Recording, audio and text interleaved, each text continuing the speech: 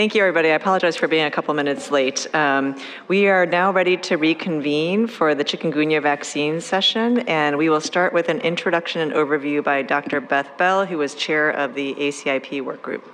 Dr. Bell? Um, good morning, everyone. Thank you. Um, so, chikungunya, as I'm sure most of you know, is a mosquito borne viral disease which um, is characterized by an acute onset of fever and severe uh, and can be debilitating um, polyarthralgia. Um, the um, work group on chikungunya vaccines uh, was formed um, recently um, no chikungunya vaccine uh, has ever been licensed in the United States or globally, but there are multiple chikungunya vaccines in development. And uh, one manufacturer um, initiated rolling su- submission of a BLA um, to the Food and Drug Administration in August of um, this year, and licensure is possible um, during 2023. And so the work group was formed in um, May of uh, this year. Next. So, um, the chikungunya vaccines work group will uh, review and evaluate data on chikungunya disease, on the epidemiology, and on vaccines. And uh, we will work to develop policy options for ACIP's consideration for US persons at risk of chikungunya, including travelers and residents of US territories and states with or at risk of transmission. Next. Um, on this um, slide are uh, the terms of reference for the work group, and I'll just read through them.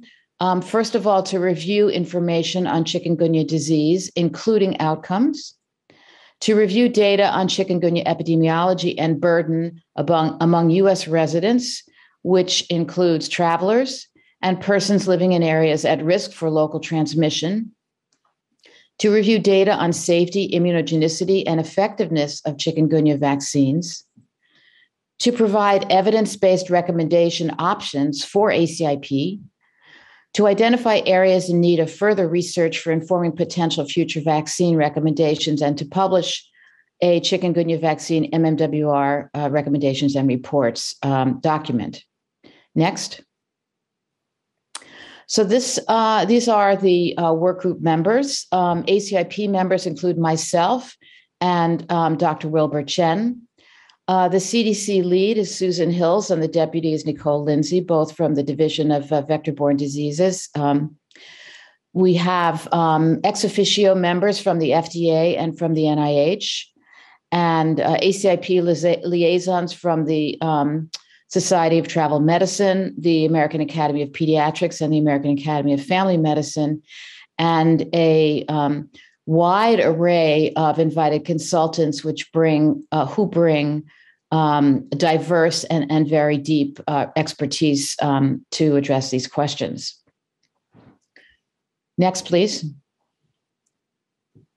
Um, these are the CDC participants, uh, including um, other um, people who work in the vector-borne diseases division, um, other parts of the uh, that center, also the global immunization division, the immunization safety group, and um, uh, members uh, that uh, are helping us with grade and uh, liaison with the ACIP secretariat.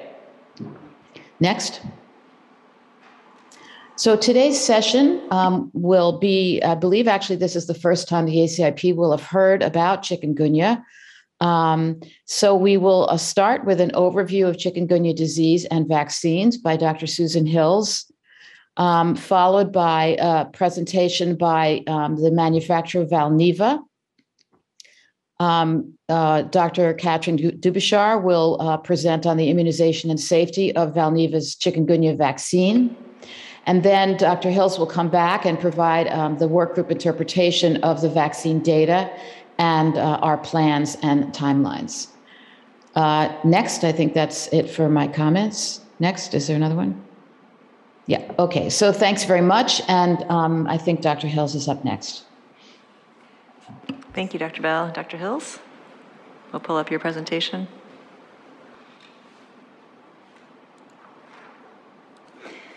Um, so, uh, thank you, Dr. Bell, very much for the introduction, and, and thank you, Dr. Lee. Chikungunya is a mosquito borne disease caused by chikungunya virus, which is an alpha virus. The disease is characterised clinically by the acute onset of fever and often severe polyarthralgia. The virus has caused large, large outbreaks with high attack rates. During such outbreaks, from one third to three quarters of the local populations have been affected. Outbreaks have occurred in most parts of the world, including in Africa, Asia, Europe, the Americas, and islands in the Indian and Pacific Oceans.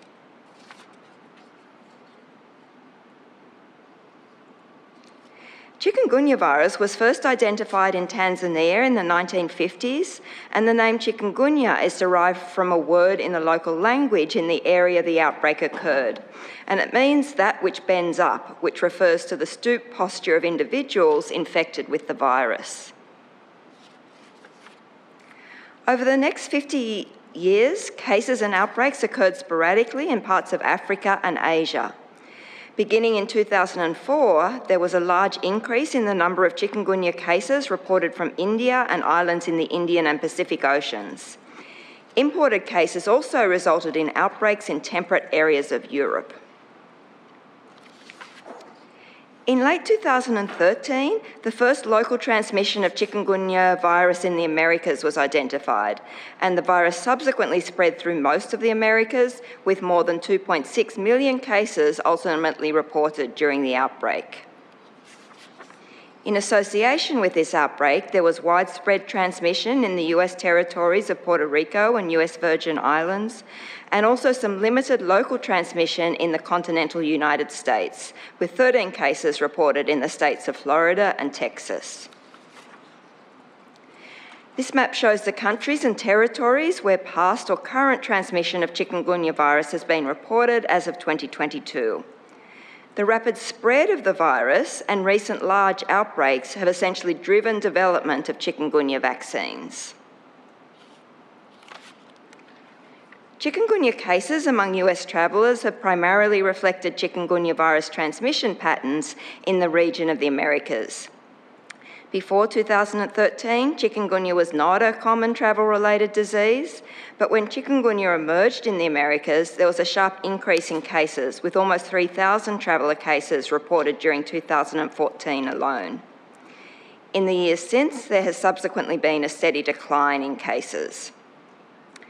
Future chikungunya outbreaks are likely to occur, although it's difficult to predict, predict when and where these might be. The greatest risk for travellers will be when these epidemics occur. The mosquitoes that spread chikungunya virus to humans are Aedes stegomyia species mosquitoes, primarily Aedes aegypti and Aedes albopictus. They are active daytime biters with peak activity at dusk and dawn. They lay their eggs in containers that hold water, such as buckets and flower pots. In addition to mosquito borne transmission, other uncommon modes of chikungunya virus transmission that have been documented um, include intrauterine and intrapartum transmission, bloodborne transmission through needle stick injury, and transmission through aerosol exposure in the laboratory. The clinical symptoms of chikungunya typically develop about three to seven days following the bite uh, from an infected mosquito, with the majority of infected persons developing symptoms. The most common symptoms of disease are a high fever and arthralgia, which is typically severe and can be debilitating. Other symptoms can also occur, such as maculopapular rash, myalgia, and headache. The joint symptoms usually involve multiple joints, and there typically is a bilateral and symmetric pattern. The joint pains occur most commonly in the hands and feet, but they can also affect more proximal joints. There is no specific antiviral treatment for symptoms, and the approach to management typically involves rest, fluids, and use of analgesics and antipyretics. Although rare, serious complications of chikungunya can occur, such as myocarditis, ocular disease, including uveitis or retinitis, hepatitis, acute renal disease, severe bullous lesions in infants, and neurologic disease such as meningoencephalitis, Guillain-Barré syndrome, myelitis, or cranial nerve palsies. Deaths are very rare, uh, but can occur. Some groups of people have an increased risk for more severe disease. This includes adults over, uh, older than 65 years of age and people with underlying medical conditions such as hypertension, diabetes, or heart disease. Pregnant women have symptoms and outcomes similar to other people, but intrapartum transmission can result in neonatal complications, including neurologic or myocardial disease or hemorrhagic symptoms. For many people with chikungunya, symptoms resolve in about 7 to 10 days. However, some have ongoing joint pain and prolonged fatigue for months or years after their acute illness. The exact proportion of people with persistent symptoms is difficult to define. There are more than 50 studies on the topic, but the study results show substantial variability related to a variety of factors, including the study methodology, such as whether it was prospective or a retrospective study, um, and whether they included an uninfected comparison group, the duration of follow up, the means of ascertaining symptoms, the cohorts, cohorts, assessed, such as whether they were drawn from the community, hospitalised patients, or from the traveller population, the demographics of the patients included, and other factors. At a future ACIP meeting, the work group will present more information on this topic as disease sequelae are very important to understanding the potential benefits of vaccination. Factors that appear to be associated with more prolonged symptoms include older age, the severity of acute illness, and the presence of pre existing joint disease. At the present time, the main means of prevention for chikungunya is the use of protective measures against mosquito bites, including insect repellent. There are no licensed chikungunya vaccines either in the US or globally, but if a chikungunya vaccine is licensed, it will be a measure to provide additional benefit for some persons. There are many chikungunya vaccines in various stages of development, including the two shown on this slide that have completed um, or have in progress phase three clinical trials and will possibly be licensed in the United States. Valneva's vaccine, which we'll hear more about today, is shown in the first row um, and is the furthest advanced. The vaccine is a live attenuated vaccine, and the schedule is one dose administered intramuscularly. A phase 3 study in adults 18 years and older has been completed, and a phase 3 study in adolescents 12 to 17 years of age commenced in January this year. A lot to lot consistency study has also been completed. Emergent Biosolutions also has a chikungunya vaccine in late stage development, and that's shown in the second row. This is a virus like particle or VLP vaccine, and the schedule also is one dose admin- administered intramuscularly.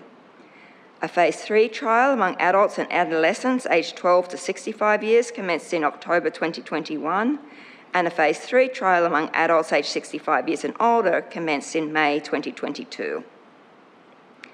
Also of note on this slide is that Valneva's vaccine has received co-funding from CEPI, which is the Coalition for Epidemic Preparedness Innovations. CEPI is a global partnership working to accelerate the development of vaccines against epidemic diseases. Chikungunya vaccine was selected for prioritisation by CEPI in recognition of the disease's public health risk and global economic impact and Valneva's vaccine is one of three chikungunya vaccine candidates that CEPI is supporting. The other two chikungunya vaccine candidates that CEPI is supporting are shown on this slide. Um, the first is the Merck vaccine, originally from Themis Bioscience, which is a live attenuated measles vectored vaccine. The schedule is expected to be one primary dose and a booster, and phase two trials have been completed.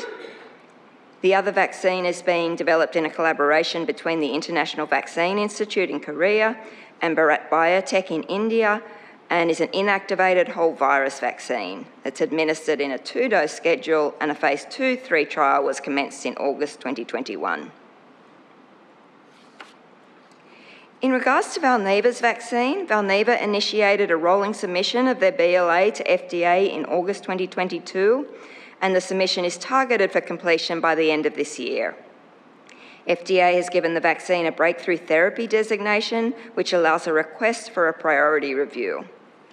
Its expected vaccine licensure will occur during 2023 with an initial indication for adults aged 18 years and older. So, in summary, chikungunya is a mosquito borne disease that can cause large outbreaks, particularly in tropical and subtropical regions. In the United States, there have been previous outbreaks in territories and limited local transmission in two states. The likelihood and scale of any future outbreaks in areas of the US with the Aedes mosquito vectors is unknown, but given the expansion in, in the area of transmission of many arboviruses in recent times, there is clear potential for transmission or outbreaks in the US in future. For travellers, the greatest risk for infection is during outbreak periods. The clinical presentation of disease is with fever and often severe polyarthralgia, and there is a risk for long term joint symptoms. Because no chikungunya vaccine has previously been licensed, there are no existing ACIP chikungunya vaccine recommendations, so the work group will be discussing potential recommendation options for ACIP's consideration for travellers and residents of US territories and states with or at risk of transmission. Before I conclude, I wanted to present some brief information on the accelerated approval pathway, which we use for licensure of chikungunya vaccines, um, because it's relevant for Valneva's presentation that will follow. Under FDA regulations, several licensure pathways are available for new vaccines, with the most appropriate pathway depending on the type of evidence that can be generated to demonstrate the vaccine's effectiveness. The three pathways are traditional approval, accelerated approval, and the animal rule. Traditional approval can occur through an efficacy trial with a disease endpoint, human challenge studies, or immunogenicity studies. Randomised controlled field efficacy, uh, efficacy trials would be challenging for chikungunya vaccine because outbreaks are unpredictable and their duration can be uh, relatively short. As a result, this approach uh, would be logistically very challenging, and clinical development would likely be substantially delayed if this approach was necessary. Human challenge studies can generally be justified in adults when there is assurance that the challenge infection will be self limited or complications can be easily managed without sequelae. The main concern with this approach for chikungunya vaccine is that while most cases resolve without complications, some patients get persistent debilitating arthralgia and no treatment is available. So this approach is unlikely to be ethically justifiable. The third approach, immunogenicity studies, can be used where there is an established correlate of protection from disease. For chikungunya, several animal and human studies have suggested that protection is primarily mediated by chikungunya virus neutralising antibodies. However, a protective threshold for neutralising antibody titers has not been definitively established. FDA can grant accelerated approval for products that are for serious conditions and that fill an unmet medical need. This pathway is designed to bring products for serious conditions to market faster. Demonstration of effectiveness for accelerated approval is based on controlled clinical trials showing the vaccine has an effect on a surrogate endpoint that is reasonably likely to predict clinical benefit.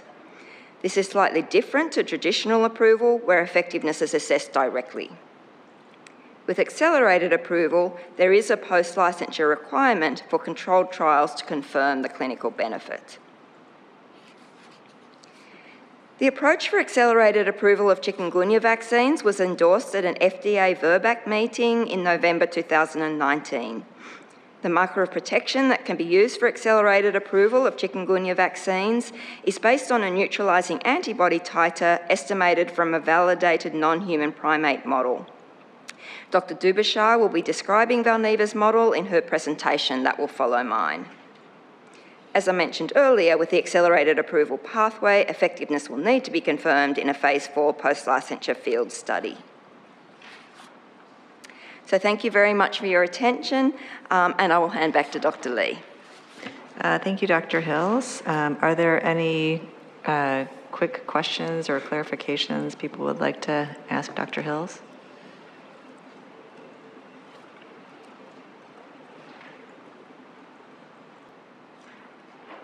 Don't see any, any hands raised in the moment. Uh, So we'll move on. Oh, sorry, Dr. Chen. Dr. Hills, thank you for that presentation and the introduction to chikungunya. I just wanted clarification for the uh, risk factors for severe disease. You, you mentioned age, underlying medical conditions, for example, hypertension, diabetes, heart disease. I imagine that that's a pretty large swath right there. Uh, there wasn't specific mention of the immunocompromised, but I'm assuming that that's also a risk as well. But maybe you could comment a little bit more about underlying medical conditions, because that would be a large uh, portion of, of a population, any population. Um, is it is it just a relative increase, or uh, can you describe a little bit more about this risk in populations with chick? Uh, yes, thank you, Dr. Chen. Um, so there have been various studies that look at more um, severe disease, and, and, as you note, immunocompromise is um, a condition as well, uh, as it is for almost all uh, infections. So it's not mentioned there specifically. Um, I think, uh, uh, you know, there's a little bit of an overlap because older disease, as well as some of these underlying medical conditions, often occur within, within the same um, uh, group. So, um, you know, particularly if, you, if you're looking at that, that disease severity, it is those older adults who are also the ones with a variety of underlying medical conditions that are really showing up in the studies as those um, uh, with most at risk of severe disease. Um, the other the other issue, of course, is it, it's it's like a, a U-shaped curve with with severity because in addition to those groups, there is a neonates. Um, if there is intrapartum transmission, um, then there really is very severe disease among uh, those very young infants and neonates born to mothers who are viremic during pregnancy, um, with things like uh, myocardial myocardial disease, um, with neurologic manifestations, with hematologic um, um, issues, so you know, uh, which can lead to things like cerebral hemorrhage. So that there, there's those um, two specific groups, but but as you mentioned, with that sort of overlap in that older age group, particularly with often both older plus underlying medical conditions. So I guess to clarify. Um, the uh, younger adult that may have well-controlled hypertension may not be among the, the, the types of people that would be at the extremely high risk of severe chikungunya necessarily, uh, to, to think about the, the population more of uh, with cumulative multiple comorbidities and old age as, as kind of the population at risk or the intrapartum population. Yeah, uh, so there has been studies that have independently suggested um, these underlying medical conditions putting people at uh, increased risk of severe chikungunya. Um, but again, sort of um, a, a, younger person with, with well controlled hypertension is probably at far lower risk of, of severe disease than the older person with, uh, you know, not well controlled um, hypertension. So thanks for that clarification. Thank you, Dr. Brooks. Yeah, um, thank you for the presentation. And a naive question, but how do you get outbreaks of an arbor-borne or vector-borne um, infection? I mean, is it just a large number of people in the population have it and then the Aedes bites them and spreads it to other people? Um, yeah, so that, that's an interesting question. When um, uh, the, the outbreak sort of spread through the um, Indian and Pacific Oceans, for example, um, or in, back in 2004, there was a slight viral mutation that led to um, increased uh, ability of the Aedes albopictus mosquito to transmit. And um, this meant that um, Aedes albopictus Pictus has um, more distribution in temperate areas. Aedes aegypti tends to st- stick to um, tropical and subtropical areas. So you're getting um, transmission by a vector in areas where people are non immune. Overall, in terms of outbreaks, there's a variety of factors that can lead to outbreaks. They can be uh, population immunity, so getting to a critical point where there's insufficient population immunity. There can be um, genetics, it can be environmental conditions. Um, there can be a variety of factors, which is why we can never um, predict specifically when and where we might see the next outbreak. Thank you. Any other questions? All right, we will move on to uh, Dr. Dubischar from Valneva. Um, Dr. Dubischar will pull up your slides or, okay, all set, thank you. Thank you, wonderful. Um, just to make sure that everybody can hear me okay. Uh, yes, we can hear you just fine, thank you. Wonderful. So it's a pleasure to be here today and present data for our VLA 1553 chikungunya vaccine candidate. Next slide, please. My presentation today will start with a brief introduction to our vaccine candidate. I will then summarize the evidence that is uh, supporting the serological endpoint we have defined together with the FDA for our vaccine candidate, and then conclude with our clinical study overview and key immunogenicity and safety data. Next slide, please. Our vaccine candidate, VLA 1553, is a live attenuated vaccine candidate. Uh, used in a single dose in intramuscular immunization, and it comes in a lyophilized presentation. The vaccine candidate is based on the La Réunion strain of uh, the East Central South African genotype of uh, chikungunya virus. And its attenuation has been achieved uh, through reverse genetics, and the virus carries a 60 amino acid deletion in the non structural protein 3 um, that reduces its uh, replication capacity against the wild type virus. The target populations uh, that uh, we see for this vaccine is on the one hand side in non-endemic countries or Western countries where the vaccine can play a role in travelers, as well as in military and in outbreak preparedness, uh, for example, in countries like the United States, Europe, or Canada. Uh, of course, there's also a big burden in low and middle income countries where uh, chikungunya virus uh, is endemic. And in those regions, we are partnered with uh, CEPI as uh, Dr. Hills has commented, and uh, work together with Instituto Butantan from Brazil to make the vaccine affordable. Next slide, please. Uh, this slide summarizes the evidence uh, we have generated in support of the serological endpoint used in our phase three clinical trial program. Uh, in brief, we have transferred human post-vaccination sera from our phase one clinical study to non-human primates um, at varying titer levels and have then challenged these animals with the wild type chikungunya virus. Following the challenge, they have been monitored for the development of uh, fever and also for development of uh, viremia. The protocol for this study has been agreed with the FDA. The results uh, have been published by now.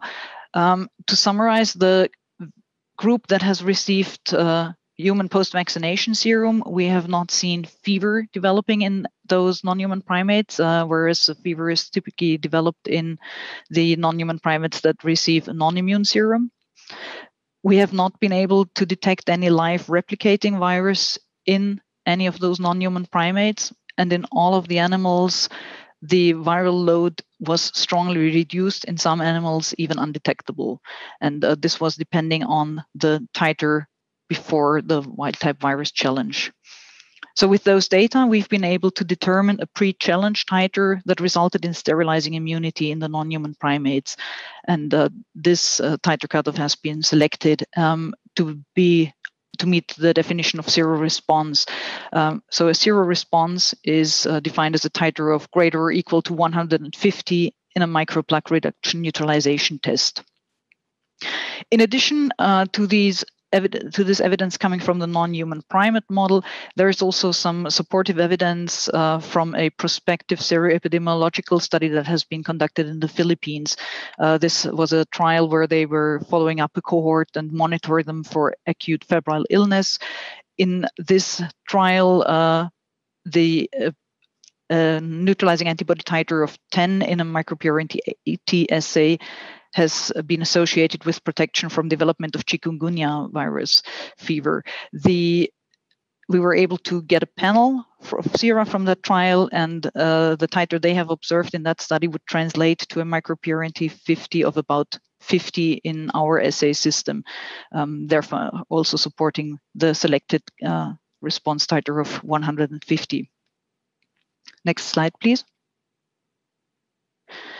Um, next one, please.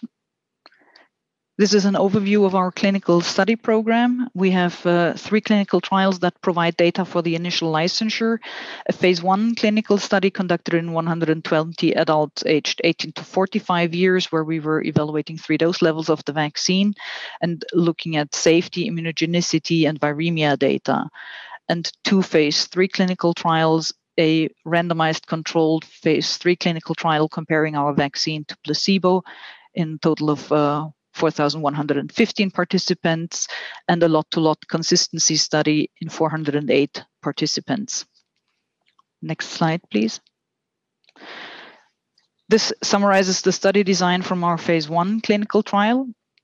As I mentioned, 120 healthy volunteers aged 18 to 45 years were immunized uh, with three dose levels of the vaccine, approximately uh, a virus titer of 10 to the third, 10 to the fourth, and 10 to the fifth TCID 50.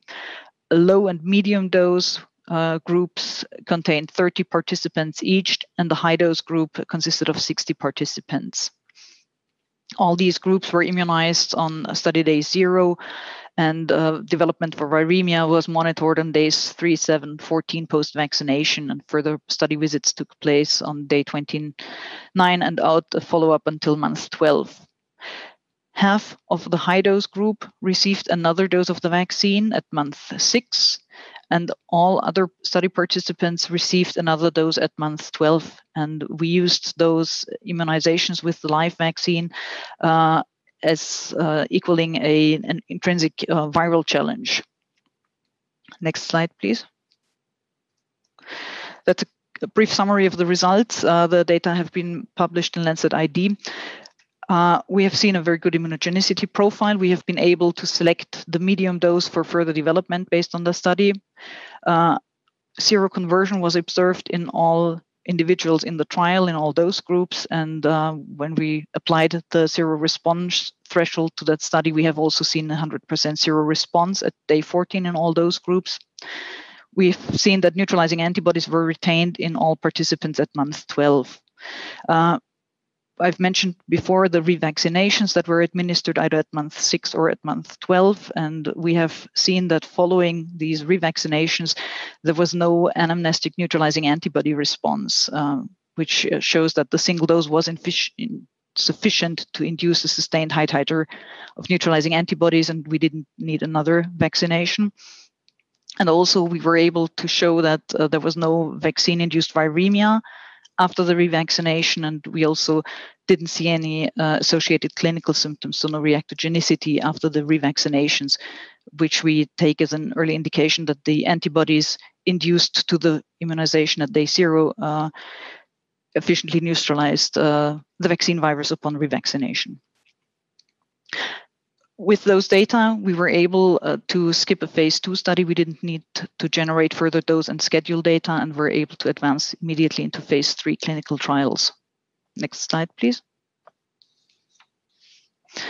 Our pivotal clinical study design. Um, this is a multicenter randomized placebo-controlled trial conducted in the United States. Uh, we enrolled adults aged 18 years and above with no upper age limit. The primary endpoint was the proportion of participants with seroresponse for individuals who were negative at baseline for chikungunya virus neutralizing antibodies. The threshold agreed with the FDA for uh, acceptance of the data from that study was that the lower bound of the 95% confidence interval for the seroresponse rate needed to exceed 70% for the study to meet its endpoint. In terms of safety, we've been uh, capturing unsolicited adverse events for six months and uh, solicited adverse events for 10 days following vaccination. Recruitment was stratified by age, uh, 18 to 64 years, about uh, 3,650 individuals, and older adults, about 460 and the randomization scheme was three to one for verum and placebo groups. The first 462 participants uh, constituted the immunogenicity subset. Immunizations uh, took place on day one. Uh, study visits then occurred on day eight, on day 29 for the primary endpoint, and the last follow up visit was at month six. Next slide, please. This is the demographic data uh, characteristics were similar between the VLA 1553 and the placebo groups, about 55% female, and a uh, good uh, diversity and racial distribution. Mean age was about 45 years. Next slide, please. This slide summarizes the primary endpoint, the seroresponse rate uh, over time. On day 29, which was the time point for determining the primary endpoint, the seroresponse was seen in 99% uh, or 263 out of 266 individuals uh, versus no seroresponse in the placebo group. A high seroresponse rate was also maintained at the month six visit with 96%, showing seroresponse still at month six. Next slide, please. Uh, this slide shows the kinetics of neutralizing antibody response and um, what you uh, what we can see here is also the impact of age, or rather the non-impact by age. Uh, the geometric mean titers are plotted in the dark purple color for adults aged 65 years and above, and then the light blue color for individuals below 65 years of age. Um, we can see the titers peaking at day 29 and then declining over time. However, they stay well above uh, the orange line, which indicates the threshold for seroresponse. We can also see that the two uh, titer uh, lines for the two age groups are virtually superimposed on each other, indicating that the vaccine was equally immunogenic in uh, those two age strata. Next slide, please. Um, to round up the immunogenicity data presentation, I uh, briefly want to summarize results from our lot-to-lot -lot consistency study. Um, the study was conducted in 408 adults. Uh, here, the age group was 18 to 45 years, and the primary endpoint in this trial was the geometric mean titer for neutralizing antibodies on day 29 post-vaccination. Uh, the study met its primary endpoint. We were able to demonstrate uh, lot-to-lot consistency, and the seroresponse was seen in 98% of participants on day 28 and then 96% at day 180. Therefore, the immunogenicity profile seen in those individuals uh, is uh, consistent with the pivotal study. Next slide, please. I'll now move on to a presentation of safety data. Next one, please. This is a summary of adverse event rates observed in the VLA 1553-301 study. About 62% of individuals reported any adverse events in the six months following administration of VLA 1553, compared to about 45% for the placebo group. Related adverse events were observed in 51% of the VLA 1553 group. Severe adverse events were reported by 3.4% of the individuals, and 2% of the individuals reported related severe adverse events in this trial. Next slide, please. This is a graph showing the solicited local adverse events profile uh, observed for 10 days after vaccination. As we can see, about 15% overall developed local adverse events. Uh, the majority of these events were mild to moderate, and uh, about 11% in the placebo group developed uh, adverse events, local adverse events. The most common local AE was tenderness. Next slide, please. This is a summary of the solicited systemic adverse events. Overall, about 50% of the individuals developed systemic adverse events. The most common ones were headache, fatigue, and myalgia. Those were observed in more than 20% of the VLA 1553 group, and the majority of the systemic reactions were mild or moderate. About 70% developed arthralgia most of the reactions, as I mentioned, were mild and moderate. Uh, we have seen a number of severe reactions, and uh, mostly this was fever. Next slide, please. Uh, because chikungunya virus uh, is associated with arthralgia, we have uh, looked at post-vaccination arthralgia in more detail here. Um, on the left panel, you see a summary of the arthralgia rates observed in the clinical trial in the VLA 1553 group, about 17% have reported any arthralgia About 0.5% of these individuals, or 15 individuals, have reported uh, arthralgia with a duration exceeding 11 days, and the longest duration was 180 days. If we contrast this with the findings from the placebo group, here we have seen about 5% developing any arthralgia, uh, but also 0.5% of the placebo group reported an arthralgia with a duration exceeding 11 days, and the longest duration here was 180 days. The right-hand panel uh, shows uh, the relative frequency of arthralgia uh, by duration for the VLA 1553 group and the placebo group. And to briefly walk you through that, uh, what we can see is in the light blue, all the, the rate of arthralgia that was uh, had a duration of one to five days, uh, followed by the dark blue with a duration of six to 10 days and then the further colors for the for the longer lasting symptoms. If you look at the uh, distribution of uh, the duration between VLA 1553 and the placebo group, uh, we see that the um, the relative frequency of longer lasting arthralgia is not increased with VLA 1553 in comparison to placebo. Next slide, please. Uh, serious adverse events, 1.5% uh, reported any serious adverse event in the VLA 1553 group versus 0.8 in the placebo group. Two related serious adverse events were reported with VLA 1553, uh, and I'll summarize those quickly. On the one hand, uh, a case of myalgia in a 50-year-old female study participant. Uh, the onset of this event was one day after her vaccination, and uh, the individual was hospitalized for a couple of days. Um, basically for diagnostic procedures. Uh, the outcome of myalgia was recovered uh, about a month later. The participant has a history of fibromyalgia, and during workup of uh, the individual case, no other trigger for the myalgia could be identified. The second case uh, was a 66 year old male who uh, developed the syndrome of inappropriate antidiuretic hormone secretion uh, 10 days after the immunization with VLA 1553. Uh, that individual uh, was also hospitalized, also made a full recovery. And the assessment here was that the uh, syndrome of inappropriate antidiuretic hormone secretion uh, may have been related to prolonged fever symptoms post vaccination. Next slide, please.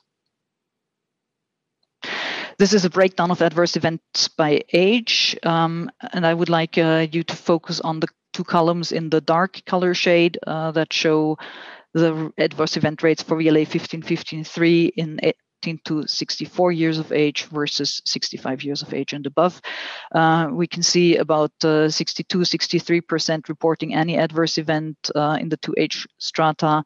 And then if you look at the rates of related AEs, severe AEs, and also related severe AEs, uh, the adverse event rates appear quite comparable in the two age group, if at all a bit lower in the individuals aged 65 years and above. Next slide, please. Um, from the lot-to-lot consistency data, the safety profile has also been consistent with what we've seen in the pivotal phase three study. 73% uh, of those individuals experienced any adverse events. We didn't see significant differences between lots. 61% reported solicited AEs, 19% local, and 57% systemic. And also here, the AEs were mild, mostly mild or moderate. There were no related SAEs observed in this clinical trial. Next slide, please. So, in summary, uh, VLA 1553 met its primary endpoint in a pivotal immunogenicity phase 3 study. The serological endpoint, a microPRNT titer greater or equal to 150, was agreed by the FDA to support an accelerated approval pathway. A single dose induced seroresponse in 99% of participants at day 29, and seroresponse was sustained in 96% at day 180. We have seen similar GMTs and seroresponse rates in older and younger adults. VLA 1553 was generally well tolerated across the age groups. We had an independent data safety monitoring board that didn't identify a safety concern. The majority of adverse events were mild or moderate and resolved within three days. 2.1% reported severe solicited AEs, and most commonly this was fever. The safety profile uh, is comparable with other licensed vaccines, and we have initiated the BLA submission to FDA. Thank you, and I'm happy to answer any questions. Thank you. This presentation is now open for questions. I see Dr. Poehling's hand raised first. All right, so first of all, thank you for this presentation. Um, I wanted to ask for some clarification. The phase one trial, as I understood it, was healthy persons 18 to 45, and then you went on to the VLA 1553 trial, and that did have age diversity and it definitely had um, race diversity. Um, did it include persons with um, medical conditions? Thank you. Yes, so the requirements from the protocol in terms of um, in an exclusion criteria were that the individuals had to have had to be generally healthy uh, based on their medical history, physical examination, and screening laboratory tests. And what we allowed was for individuals, uh, for example, they could have had a chronic illness or chronic condition like hypertension or diabetes or hyperlipidemia, if that was stable and well controlled on therapy for the past six months. Thank you. Dr. Chen? Thanks so much for that um, uh, overview of the clinical development um, for this vaccine. I, I have a, a, question that kind of uh, dovetails with Dr. Poehling's, which is um, it, you confirmed that um, the, the pivotal phase three was predominantly healthy adults, and we only had, I think, less than 12% of that pivotal uh, trial including older adults, uh, those 65 years and older.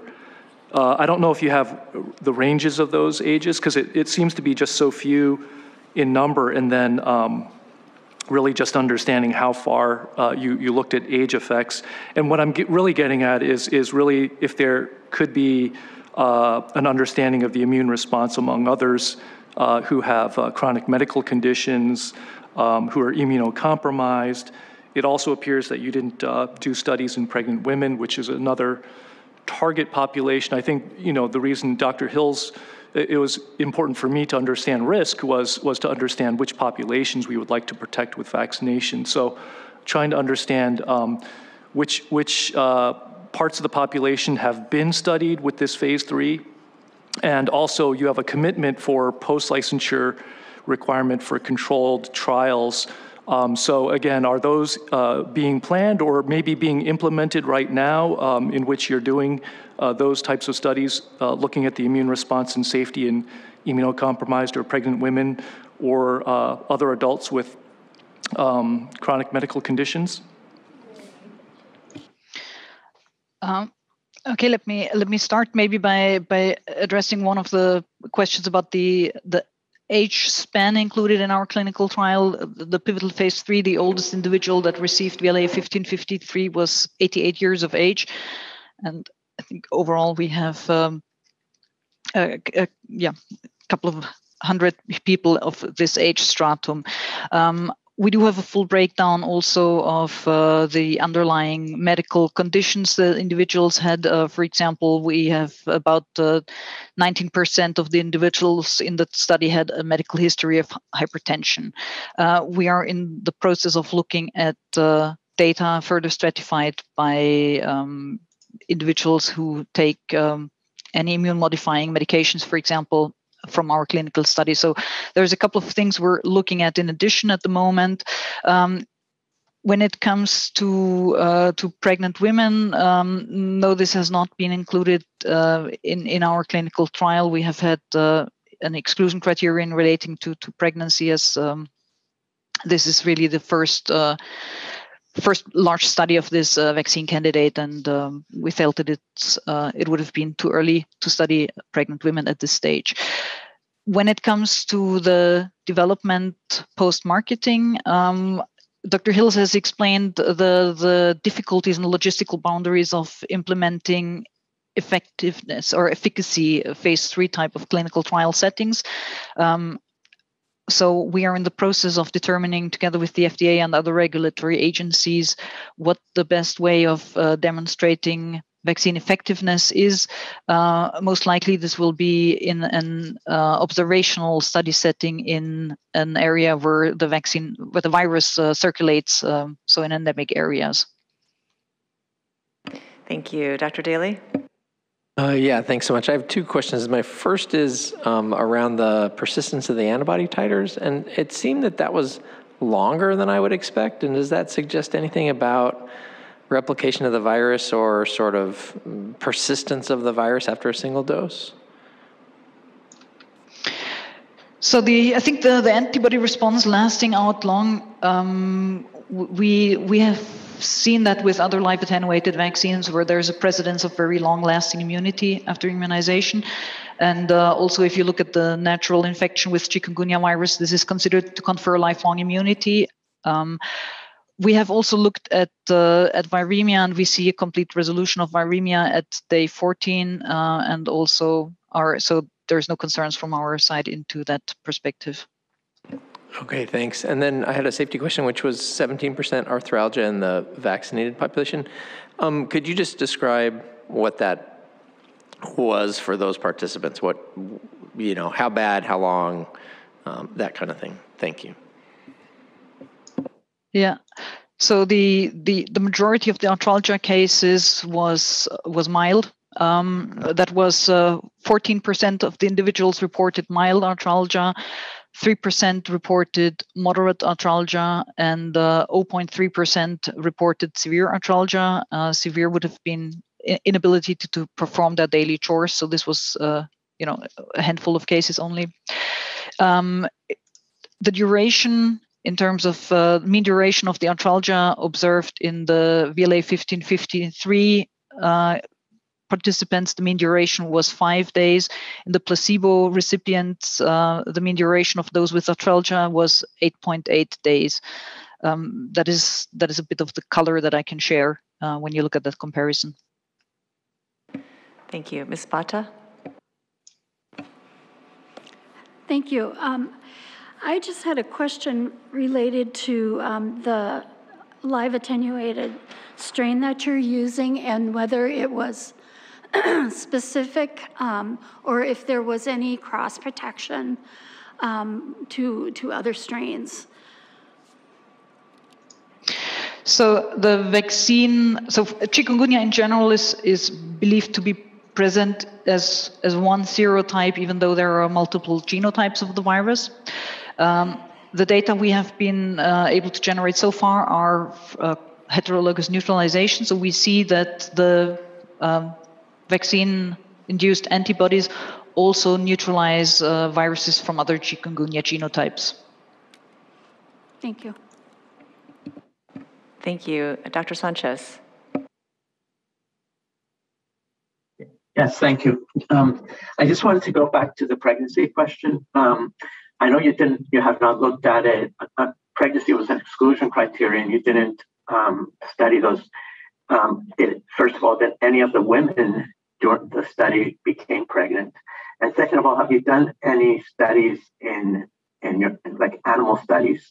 Um, my understanding from your animal studies and, and actually that is a life attenuated, um, well, that it is a life attenuated vaccine, but no, you didn't see any replication replicating virus. And so theoretically, um, could you comment on potential safety of such vaccine and, and pregnancy? And then my second question was of these arthralgias, how many was, was there frank arthritis as well? Dr. Sanchez, sorry, you were sentence. You um, were breaking up in the second part of your question. Sorry, the second question was of the arthralgias, because 17% seems quite high. Um, was there any frank arthritis? Okay, got it. Um, so on the uh, maybe let me start with the first part of the question with the pregnancies.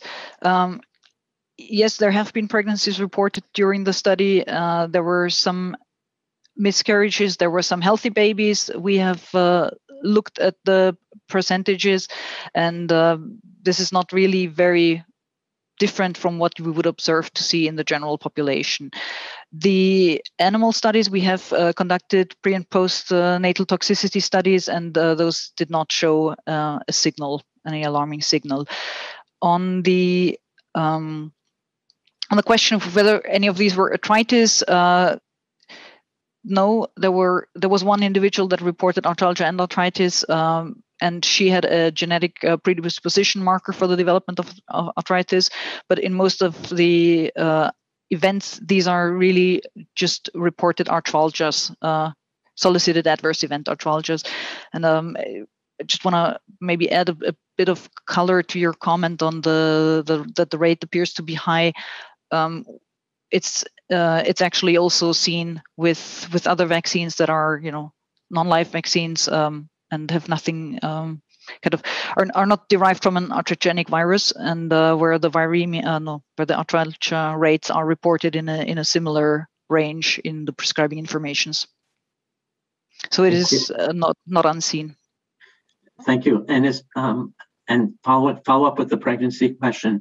Was there any attempt to see whether the vaccine um, virus actually uh, got into the fetus during any of those um, episodes? No. Uh, no, this was not attempted, and this included also pregnancies that were received, uh, that were um, conceived uh, a while after the immunization. So um, I think this is uh, very little data uh, that is present at the moment in, in regarding use in pregnancy. Thank you. Thank you, Dr. Talbot. Yeah, I want to applaud you for including older adults as many times that we have a vaccine. Um, with the intention to use in older adults and don't actually test it in older adults. So thank you. Um, along the lines of Dr. Chen's question, can you tell me the median age of those over 65 years of age? I know you had some that were much older, but I'm trying to figure out how many were much older. And two, can you tell me anything about the frailty of these folks? Thanks.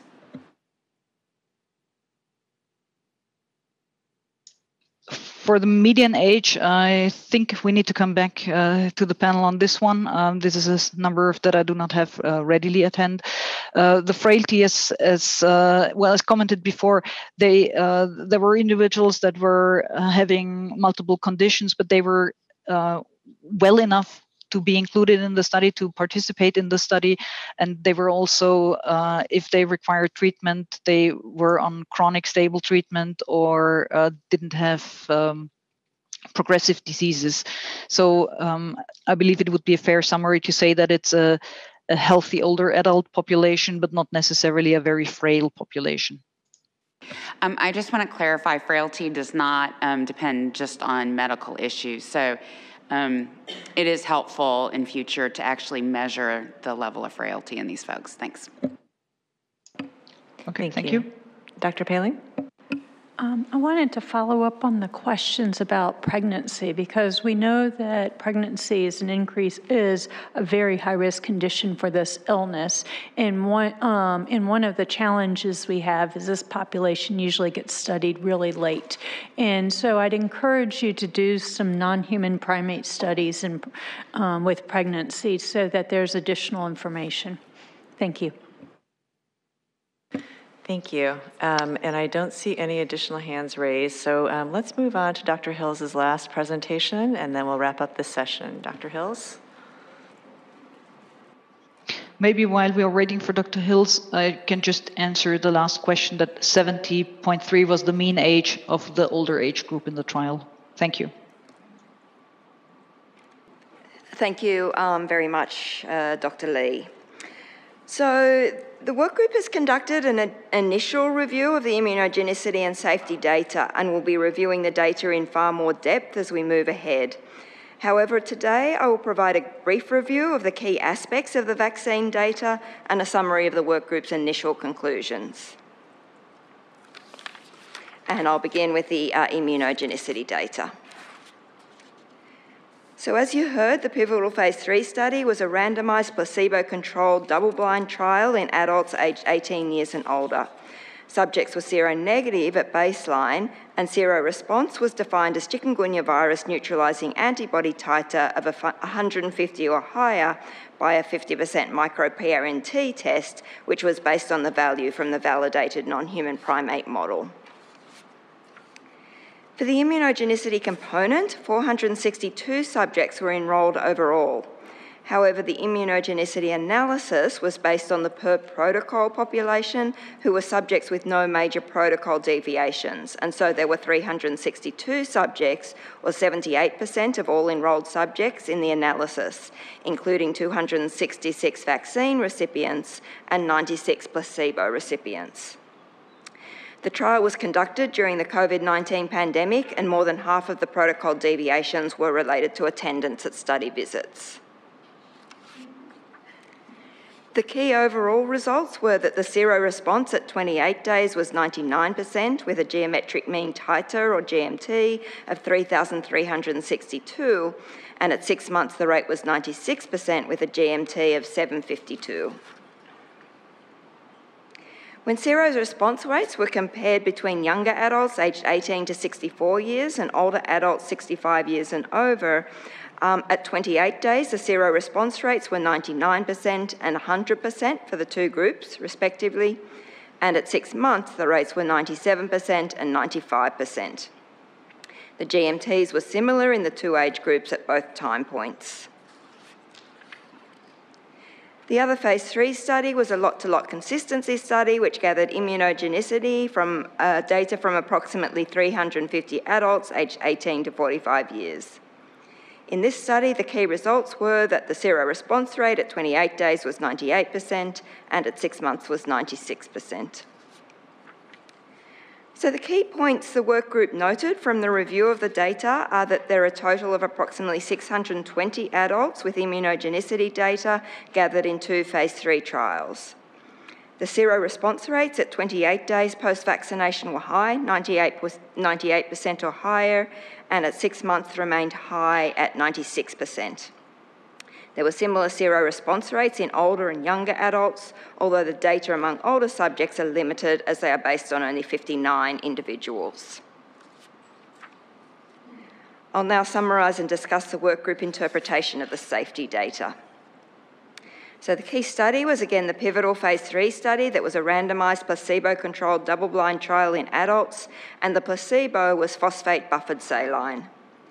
Recruitment was in a 3 to 1 ratio, so 3,082 adults received vaccine and 1,033 received placebo, and all these subjects were included in the safety population.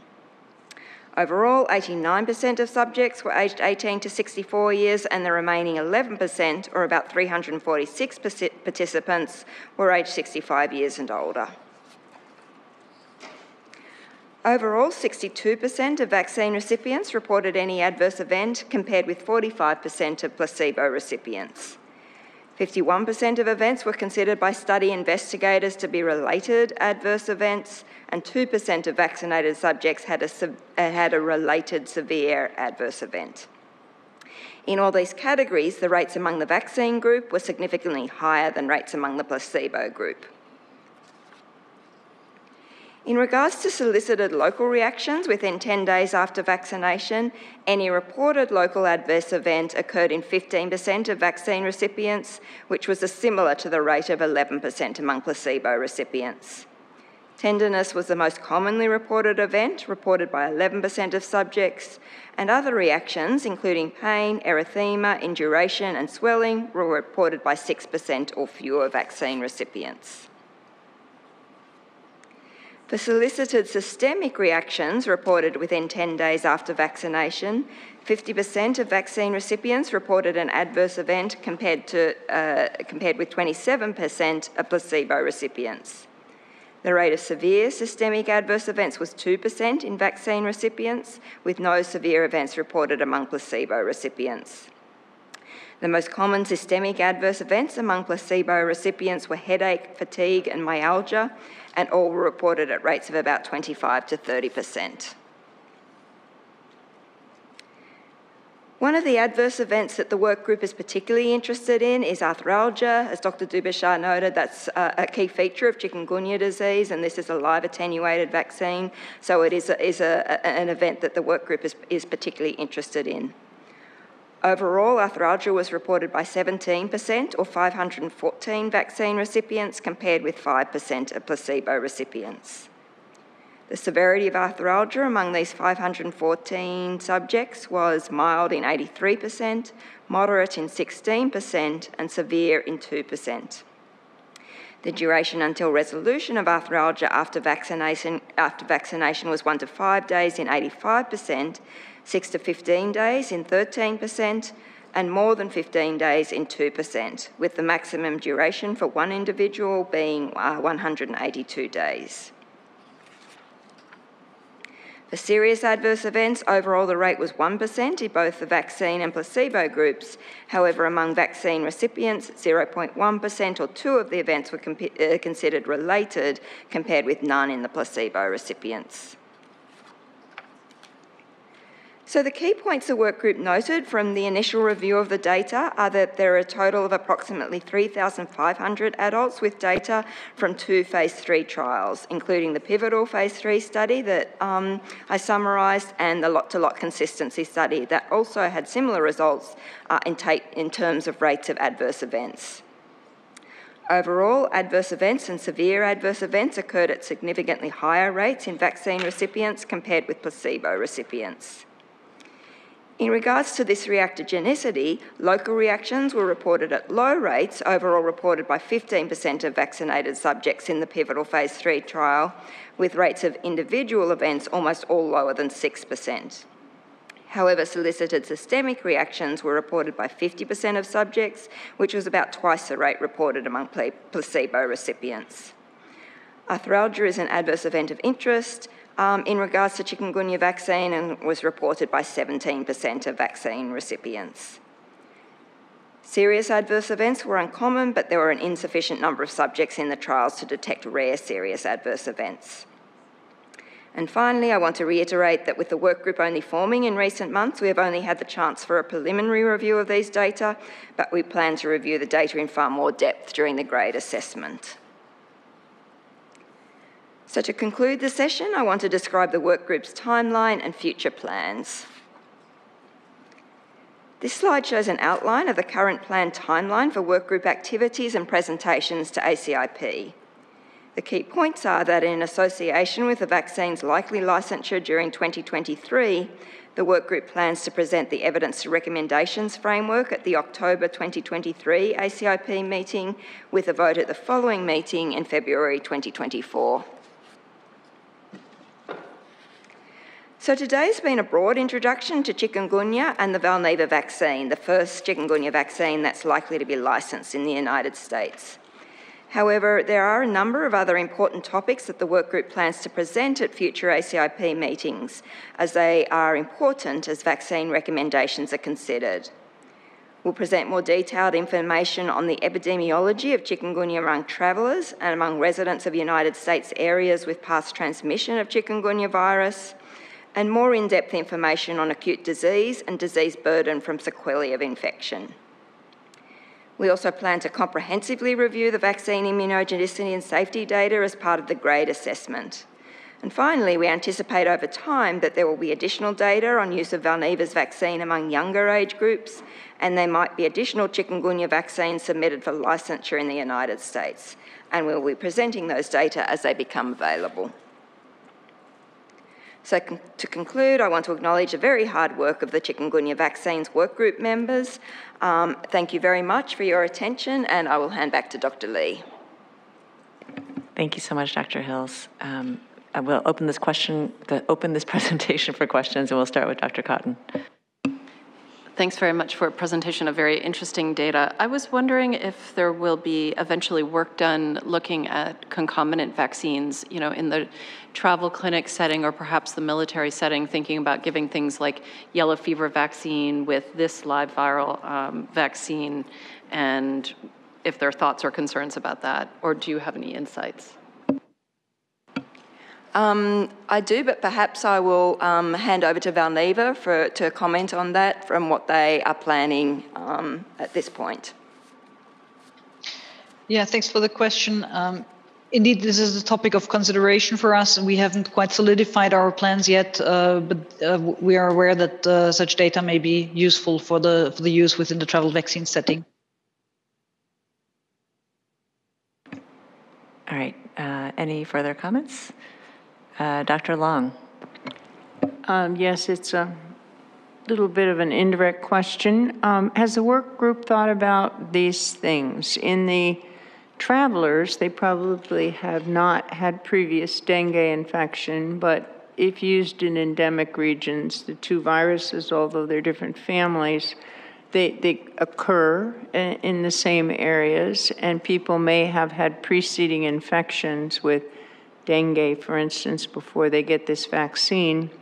And I know there's cross reactivity in enzyme immunoassays, probably not neutralization assays. But the question is are you going to be at all concerned about the performance of the vaccine in those who previously have had dengue or previously have had um, chikungunya in enhancement of disease or detrimental response to vaccine or adverse events? Thank you for that question, Dr. Long. Um, because uh, dengue is a flavivirus and chikungunya is an alpha virus, we're not concerned about that in interaction. Um, however, um, one of the questions of relevance to your question is, is thinking about um, response in people who have had previous uh, chikungunya or perhaps other alpha virus infections. So, uh, Mayaro occurs in um, South America, uh, Nyong Nyong occurs in Africa, Ross River and Barmah Forest um, occur in some regions um, in the Pacific. Um, and as we move ahead, um, we will be uh, uh, uh, thinking about um, those data. So, thank you very much for that reminder and that question. Thank you. Dr. Cotton? I just have one small question. If this is a non-reproducing virus, will you be looking at use of this in immunocompromised patients? I actually understand the hesitancy in pregnant women to give a live viral vaccine, um, but immunocompromised is different. Uh, so I, I believe um, immunocompromise will be a contraindication to vaccination, but I would like um, Valneva to comment on that. Yeah. So just to to uh, quickly answer, yes, indeed, we we expect that uh, severe immunocompromisation will be a contraindication to receiving the live vaccine, and uh, it, it is a replicating virus vaccine. Uh, however, there is uh, there is also considerations that uh, the use of this vaccine may be um, may be prudent in some subgroups. Um, that, uh, for example, um, HIV positive individuals. Uh, there may be studies on those topics in the future. And uh, so I think this is uh, more um, data that we'll uh, probably have uh, at some later stage. Thank you. So just to be clear, it's attenuated with the reverse genetics and that um, 60 amino acid deletion, but it can still um, replicate. Yes, exactly. Okay, thank you. That makes, don't, then don't put it in immunocompromised yet. yes. Or, or pregnant woman. Yeah. Just stop those ideas. Thank you. Thank you. Any other questions? Dr. Hills, I just have one, um, you know, question clarification for where the work group is headed. And, you know, uh, as with many of our vaccines that uh, serve uh, unique populations with uncertain exposures, um, do you have a sense, uh, or maybe um, I'll just ask if perhaps the work group can consider some of the discussion before that we've had around clearly defining risk-based groups and or whether or not shared clinical decision makes sense shared clinical decision making makes sense. But i think this is the hardest question of all and i feel like for these groups where it's not totally always clear um, who's at highest risk and when they'll be at highest risk it'll be really helpful to have as much guidance as possible thank you Thank you very much, Dr. Lee. We'll, we will definitely take that on board.